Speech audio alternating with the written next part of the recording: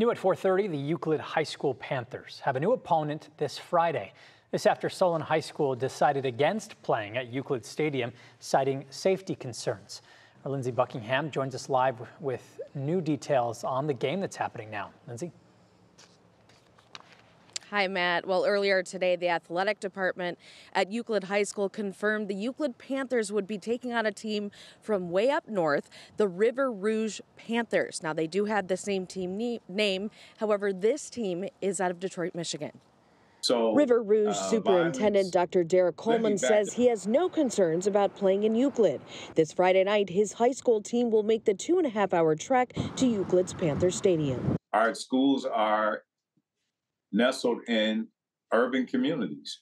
There's a right. level of violence um, that is consistent with the socioeconomic level.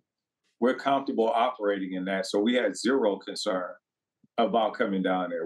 Meanwhile, Solon High School pulled out of the game Friday, citing violence in and around the school grounds.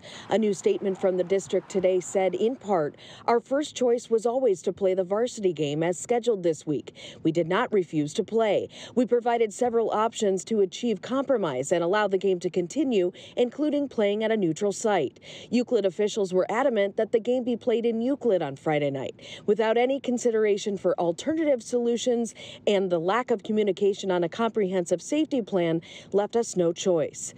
One community member who did not want to show her face says the attention the game has gotten is taken away from the kids who deserve to play. But that should not impact the children's opportunity to play. Because again, for some, it's a way out and an opportunity. So they should be given that opportunity.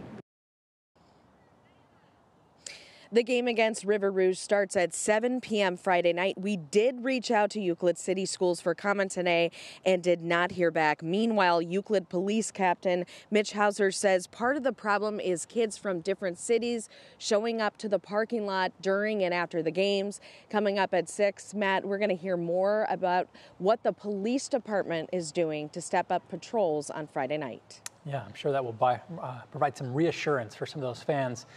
Uh, thanks a lot, Lindsey.